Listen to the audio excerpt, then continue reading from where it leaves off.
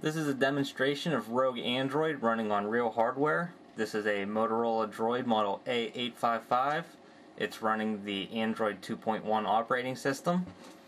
And Rogue Android has already been installed on it. So I'm just going to open the app tray and run it.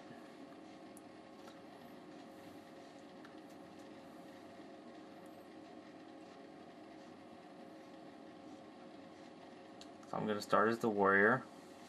Forgive the autofocus tracking. Can't quite figure out how to take a good shot of this. So here's the game running.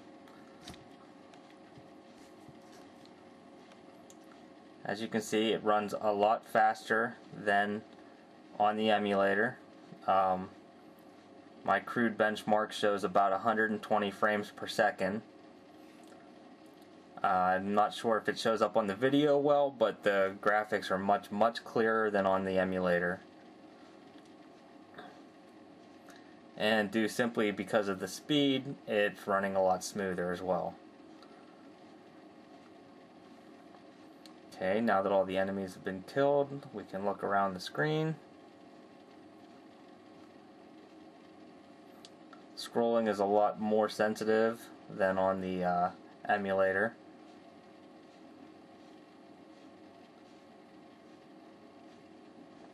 I don't quite see the boss monster anywhere. You just recenter the screen I'm getting attacked.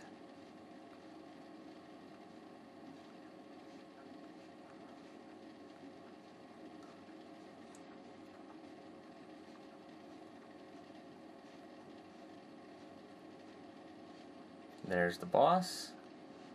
So I'm just going to go down and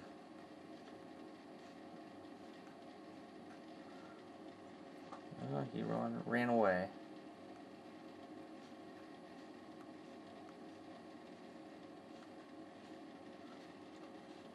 And I won. So as you can see, uh, the graphics are quite high resolution and uh, the game plays perfectly well.